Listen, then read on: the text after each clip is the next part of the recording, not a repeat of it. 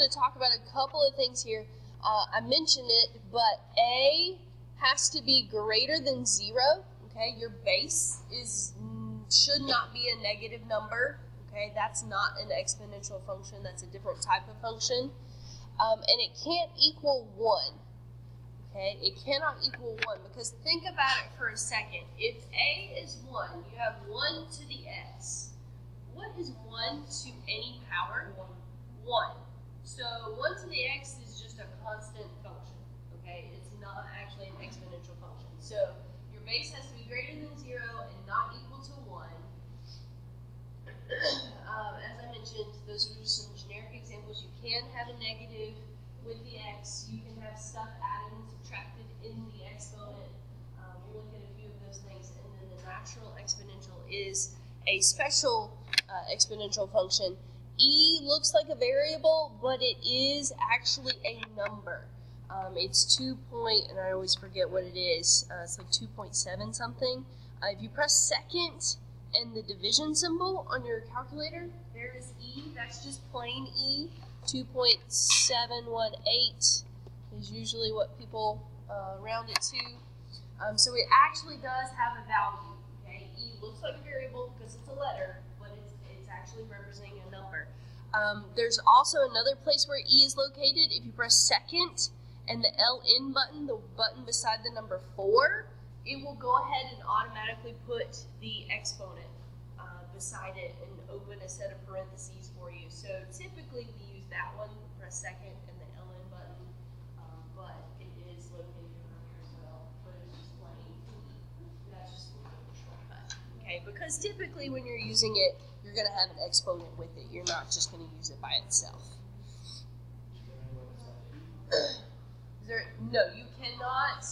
Uh, you cannot store a variable as, or you cannot store a number as e. You'll notice um, now there is a, a capital E um, in your alphabet. You can store it there, but the lowercase e is reserved for um, this constant. What is it? Um, I mean, it, it's a constant. It's related to the natural log, um, which we'll talk about logarithms starting tomorrow. Um, but it's just it, it's it's a defined value based on logarithms, so it'll, it'll make a little bit more sense tomorrow. Okay, so for what I want you to do right, um, the domain. Okay, the domain. Did it matter which exponential function you were looking at? Did the domain change? No. The domain is all real numbers. Um, that in infinity, in uh, interval notation, that would be from negative infinity to positive infinity, or you can write the all real number symbol. Um, in set notation, that means that it's um, uh, using inequalities. You can write it like that, okay? All three of those things mean the exact same thing, okay? You need to be familiar with all of them because they're used pretty interchangeably. All right, now the range. I answered several questions about this, um, but remember the range means what are all the possible y values that I could get out of this function. Now, did you notice when you were looking at the graphs, none of them were below the x-axis, right? They were all above the x-axis. And I asked several of you when you were asking me about this, and I said, okay, so what are your y values getting super, super close to? They were getting really, really close to zero. But is it possible for an exponential function to equal zero? No. Okay, you can't raise 10 to a power and get zero. You can't raise um, 5 to a negative power and get zero. so the range, you can write it several different ways. You can write it from zero to positive infinity. Okay, that's one way to write it. Or you can say y is greater than zero. Okay, interval notation set notation. Okay, set means that you use inequalities. Now, if our range does not include zero, are we going to have an x-intercept? No. No x-intercepts. The only time, and we're going to look at this, what we're doing is we're kind of building up these functions and then we're going to look at them as a whole. Um, the only time that an exponential function will have an x-intercept is if there's something subtracted from the end of it. So like 10 to the x minus 2, that's going to shift your entire graph down two units. Then it will cross the x-axis. But if it doesn't have anything beside the exponential, then it's not going to have an x-intercept. What were your y-intercepts? One. All of them. All of these had a y-intercept of zero, one. Okay? I do want you to be in the habit of writing your x and y intercepts as points, not just as numbers, write them as points. Okay? Now, why would they all have the same y intercept? Oh, be careful. What are we doing when we figure out the y intercept? What do we do? We make x equal 0. We plug in 0 for x. So x, for these four examples, was the exponent. So anything to the 0 power is 1. That's something you've got to know. Any number raised to the 0 power, if you've never heard the statement before, I'm a little upset at your previous math. Anything raised to the 0 power is 1. Okay? Any number any constant raised to the zero power is 1. You just got to know that, okay? That is a basic math fact that you should know. All right, now, intervals of increasing and decreasing. Now, when we're dealing with polynomials, we would have multiple intervals, right? Because our function would change from increasing to decreasing or vice versa. Does that happen with exponential functions? Do they change? No. no. They are either always increasing or always decreasing, right? Um, two of these were increasing, two of them were decreasing. What was the difference between the two? Okay, so the negative exponent and the fraction were, what were they? Were they increasing or decreasing? They were decreasing. And 10 to the x and e to the x were increasing, okay?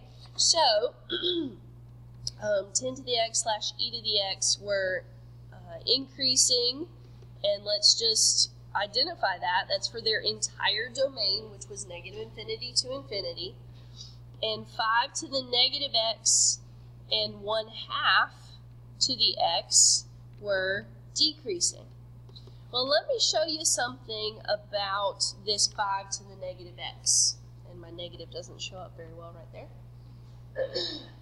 okay, 5 to the negative x. I'm going to use some properties of exponents here for a second.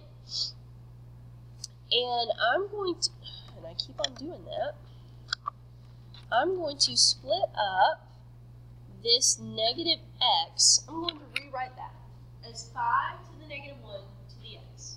Now, why can I do that? What property of exponents am I using? The multiplication. When you raise a power to another power, you multiply. So negative 1 times x is negative x. So I've just gone backwards, okay? Now, what do we know about negative exponents? What can we do with those?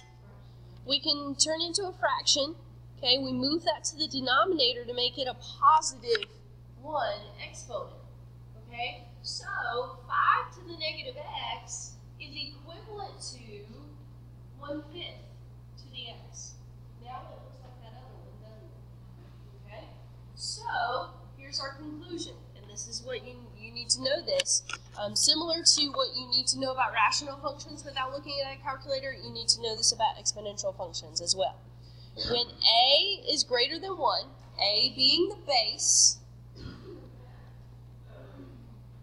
your exponential is going to be increasing. When a is less than 1, of course greater than 0, but less than 1, um, then it's going to be decreasing, okay? So be careful. Don't just say if it's a fraction, okay? Because 3 fifths is a fraction, not 3 fifths, 3 halves is a fraction, but it's bigger than 1, okay? 3 halves is going to be an increasing exponential function. So don't just say if it's a fraction, then it's going to be decreasing, but if it's a fraction less than 1, it is decreasing, okay? Um, so you should be able to, to tell me that right off the bat, just looking at the equation, whether it's an increasing or decreasing uh, exponential function. Now, do we have any extrema? No, we don't have any any extrema because what causes an extrema to happen? A change between increasing and decreasing. If it doesn't change, then you don't have any extrema. So these do not have any extrema. Okay? Um, and then the end behavior, we need to split those into two categories um, because the same thing happens. When A is greater than 1, it has a particular end behavior. And when it's less than 1, it has a particular end behavior. So remember what, how we split up end behavior. We said as x is approaching negative infinity, and as it's approaching positive infinity, let's talk about the what the y values are doing. Okay, so when a is greater than 1, meaning we have an increasing exponential function, as we go to negative infinity, the left side of our function, what are our y values headed to? Zero. Zero. Okay. As x is approaching positive infinity, so the right side of the function, where are the y values going? Positive infinity. Okay. when it's less than 1, that's the decreasing function. So those relationships are just flipped. Okay, so when we're approaching negative infinity, when our x values are approaching negative infinity, our y values are approaching positive infinity. When our x values are approaching positive infinity, our y values are approaching zero.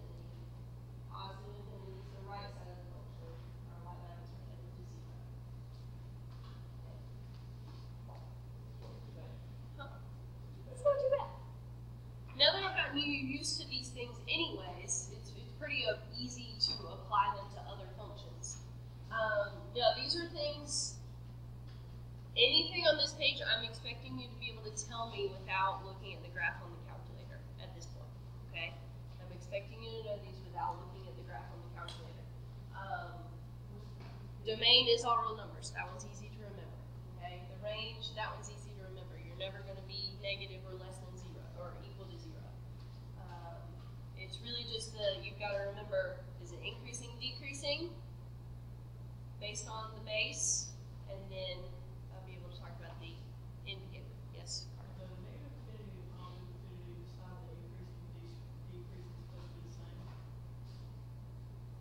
Yes, because I'm saying that it's increasing for the entire domain. Remember, we use x values to tell us.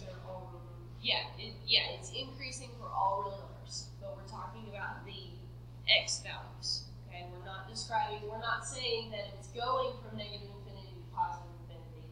We're not talking about the y values. We're saying the y values are increasing,